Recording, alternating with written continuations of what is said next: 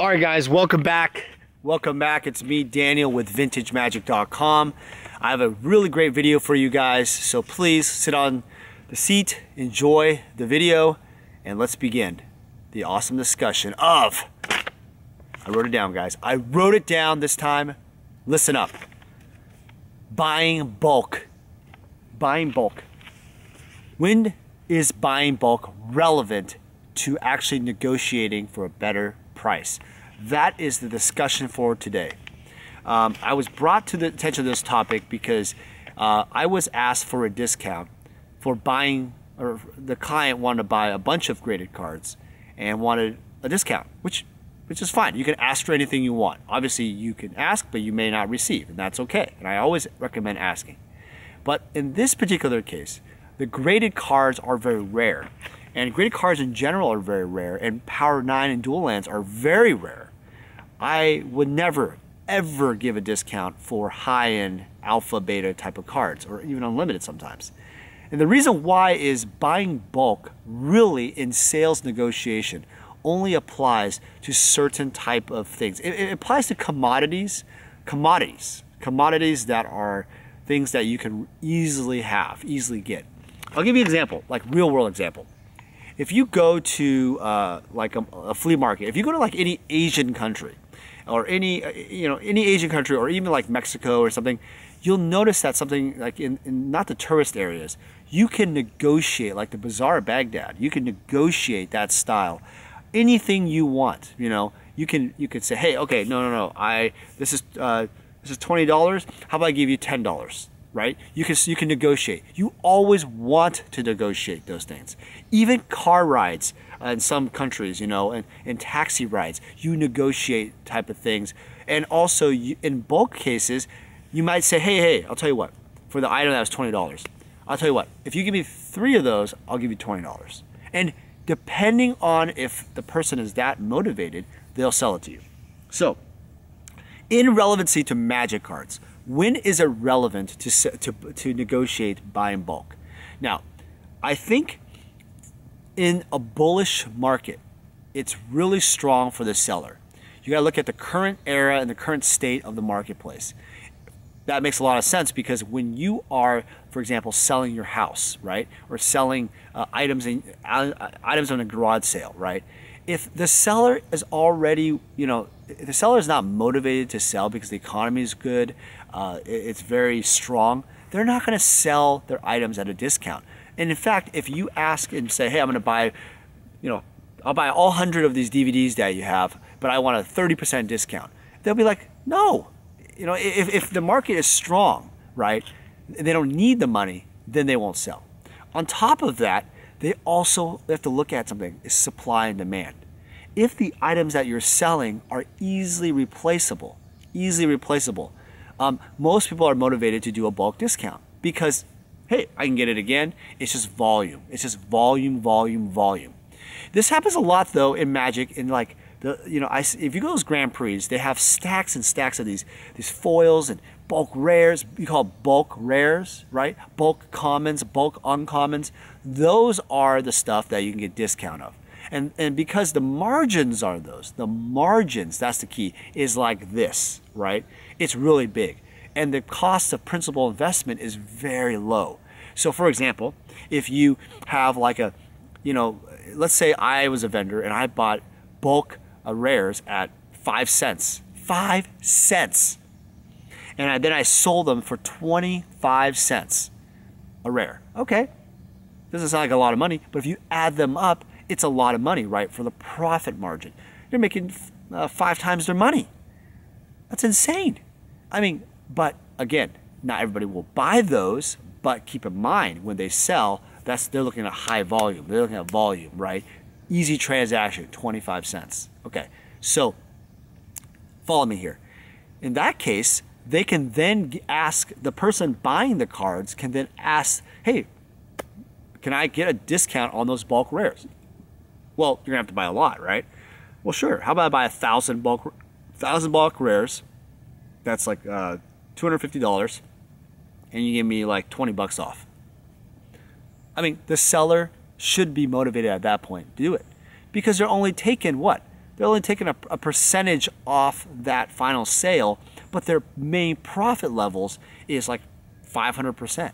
So keep in mind, that is when that applies in Magic the Gathering. I, I also want you to know that asking for a discount is not an insult. I think a lot of people have a bad rap or a fear of asking for a discount. I think it's the way you ask. I think if you ask a way where it's rude and unprofessional, you're never gonna get anywhere anyway. It's like saying, hey, hey, hey, waiter, come here, come here, come here. Why in the world I asked for medium rare steak and you gave me medium? This is the stupidest, you're the dumbest idiot waiter in the world. You are so stupid, I don't know why I'm even here. Is that the right way to ask someone? Or is it, appro- is it better to be professional, to be kind? That is the way you ask. And that is, just, you know, it's hard on email, it's hard on Messenger because uh, there's so much information that goes through there and it's, and it's so fast that you can read into things too quickly. So that brings up the second thing is when you negotiate on these type of things, don't take it personally.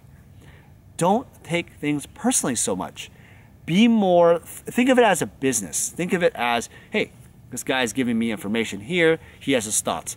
For example, if he values his if he values his card for five thousand dollars and you want to pay forty five hundred, and he keeps saying, well, unfortunately, there's only five in the world, and I'm really firm at uh, five thousand dollars, and you know I, I appreciate your offer. Then you ask him again. He's like, you know, I appreciate it, but you know, this is very rare, and it might go to the right. And, and I would rather the the card go to the right person, but it may not go to you, and that's okay because you have to love the card for this price. Well, you're like, what the hell did you just say to me? What? What the freak? Oh, I'm not rich enough. Oh. Oh, that's what that is. It was Colonel Mustard and the mustard stick. That's what it was. Oh, you want you want Warren Buffett to come buy your cards, not me, Mr. $4,500. That's not enough for you. See? See what I just did there? I took it personally, right? People take things personally a lot in Magic the Gathering investing, and I'm telling you, that's what breeds that breeds the trolls. It breeds the haters. It breeds all those negative people out there in this world in general. Don't be like that. Don't think, take things so personally. It's business. It is business. Another thing I will say about sales negotiation, especially in bulk bulk deals, is do not do not get do not worry too much about the uh, you know like do not worry too much about like missing a card here and there. Your time.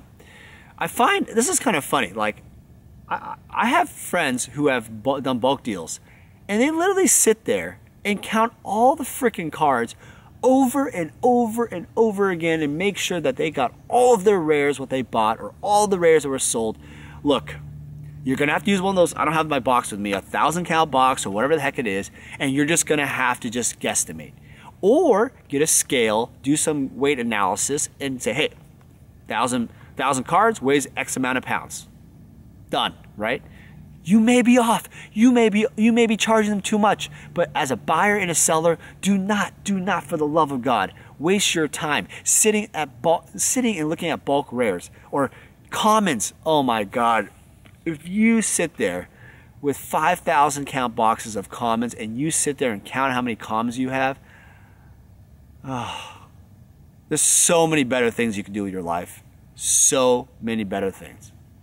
All right, guys, I hope you guys thought the video was helpful. It was very interesting to me, this topic brought up. I will leave you with this thought on bulk rares in relationship to high-end cards. And this is the main reason why I do not like to deal with uh, new cards. This is this is kind of a kind of a kind of a inside story here.